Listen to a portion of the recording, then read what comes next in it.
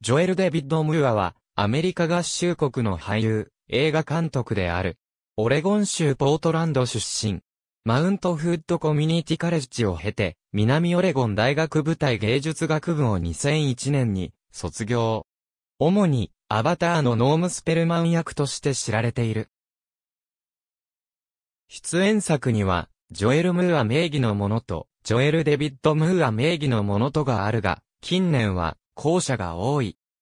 俳優業の傍ら監督業も言っており、過去に数本のショートフィルムを制作したほか、2007年に主演したスリラー映画、スパイラルでは共同で監督、脚本を手掛け、また2014年には単独で監督を務める、ブラックコメディ映画、キリング・ウィンストン・ジョーンズを、2015年には同じく、ユースイン・オレゴンを撮影している。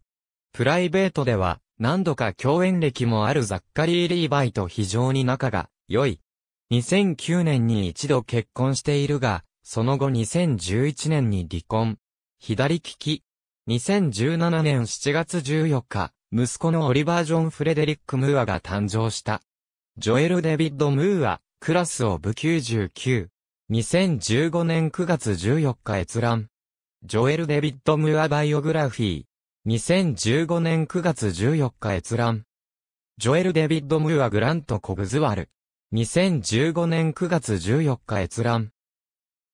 アバター、ジョエル・ムーア divorces wife。